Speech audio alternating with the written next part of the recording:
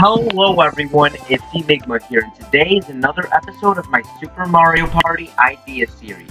Last time we talked about boards, but this time we're going to be talking about board spaces. So, in each Mario Party game, there's always boards, except for Mario Party 9. But, you know, I think these boards should come back to this game. Um, I have a lot of returning boards. I only have one new board space, space, I meant to say. Um, but I'm gonna just go down the list. I have a lot of spaces uh, returning from other games, so obvi the most obvious one, the blue space, it gets you three coins. The red space gets you, well, makes you lose coins. Green space, well, actually, this is kind of a new one.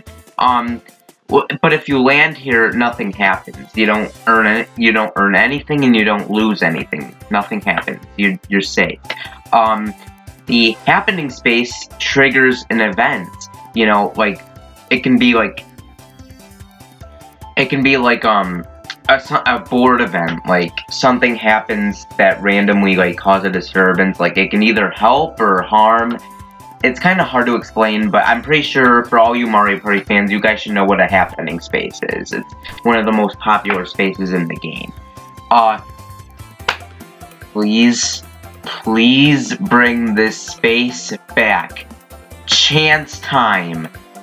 Why did they get this? This was a board space from Mario Party 1 to 6, and then in 7 they removed it. For I have no idea. That was a big mistake. They need to bring chance time back. Like, that was one of the main features of the first Mario Party. That's what made everyone love Mario Party, was chance time. Because, like, basically what chance time is, for those who aren't aware of what chance time does, it's basically something that could screw up your whole game for the rest of the game. You could swap stars with people. You could lose, like you could you could swap coins. Like it could be anything. Like there's a big roulette, and like if you hit a certain players, those two players have to swap their things, or anything else could happen. Chance Time was a big game changer for the other Mario Party games, and it needs to come back in this game. Like, what were they thinking getting rid of Chance Time? Like, what idea was that? They need to bring it back in this game in order to make this game really stand out for bringing back Chance Time. Um, so yeah, bring Chance Time back. Oh, but anyways, uh, the next, uh, space is a mini game space. Uh, it's kind of simple. Um, basically, if you land here, uh, you're forced to play a mini game already. Um, it can vary. Like a roulette will spin, and it'll tell you what mini game you're gonna play, and then another roulette will spin about what mini game you're actually gonna play. And yeah, I think that would um make sense. Um, mushroom space is another one. Uh, it earns the player a mushroom. Basically, it's basically a uh basically it's something that will help you like uh it's similar to like um candies from Mario Party 8. Uh basically it'll like it's hard to explain. Like it'll it'll give you like some sort of power eh, eh, that will make the uh that will make your turn easier for you. That's basically the best way I can put it. Um and by doing that it earns you a mushroom. Now, I'm going to talk about these two spaces at the same time because they basically mean the same thing. Uh, Funky Kong space and Koopa Kid space. Uh, basically, the Funky Kong space replaces the Donkey Kong space. Seeing how Donkey Kong is playable, I, I should have done Diddy Kong, but Diddy Kong's also playable as well. So, basically what I said was, Funky Kong comes to the board to help the player, uh, and it replaces the Donkey Kong space. And then for the other one is the Koopa Kid space. It's basically the same thing but has the opposite effect. Koopa Kid comes to the board to harm the player, replaces the Bowser space.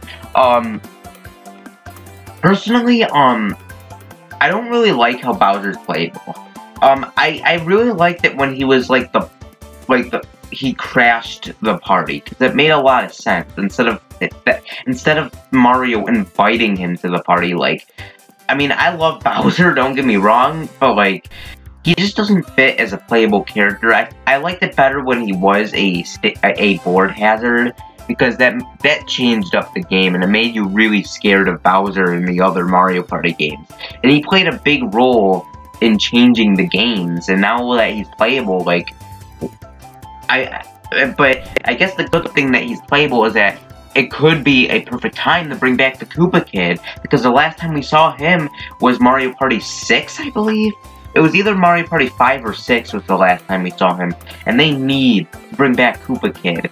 Now, I don't think he's going to return as a playable character, but they could have him as a stage hazard again, because he was a stage hazard in Mario Party 1 to 3 and 4, and then he was made playable in 5. Um, but I think he should go back to a stage hazard, uh, well, board hazard. So yeah, I think that would fit for a replacement for the Bowser space.